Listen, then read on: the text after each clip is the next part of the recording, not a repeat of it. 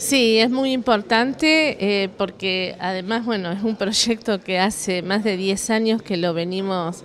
trabajando y realmente en esta legislatura fue aprobado por amplia mayoría. Ya como pasó en la primera vuelta, solo dos votos este, en contra por una cuestión de dos mujeres, por,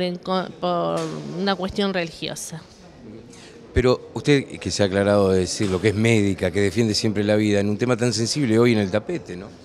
Sí, además porque en realidad nosotros creo que eh, apostamos a la vida, porque no hay eh, un delito más aberrante sobre el cuerpo de una mujer que la violación. Hoy en, en diario regional sale el caso de una niña de 11 años embarazada de 7 meses por su primo de 26 y también sale una nena de 9 años abusada. Creo que esto este, no nos puede eh, hacer que escondamos la cabeza como el avestruz o, miremos para el costado, porque realmente este, uno puede aceptar el pensamiento diferente,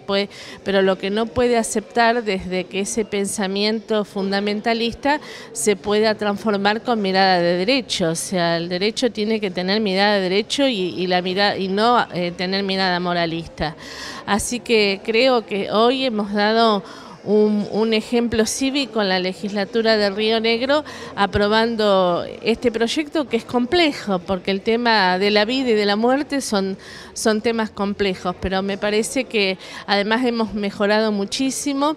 el proyecto con aportes de muchas legisladoras, pero también el aporte de un grupo de abogados que se llaman este, eh, abogados, eh, em, em, Alianza de Abogados por el derecho humano, sobre todo trabajando sobre los derechos sexuales y reproductivos de las mujeres, que son 100 abogados de toda la Argentina que se especializan en esta temática nada más, así que nos han mejorado el proyecto, así que creo que el proyecto es muy completo y por supuesto basándonos en el fallo magistral de, de la Corte que lo que hace es nada más y nada menos lo que tienen que hacer los jueces, interpretar el famoso artículo 86 del Código Penal que está escrito de 1920.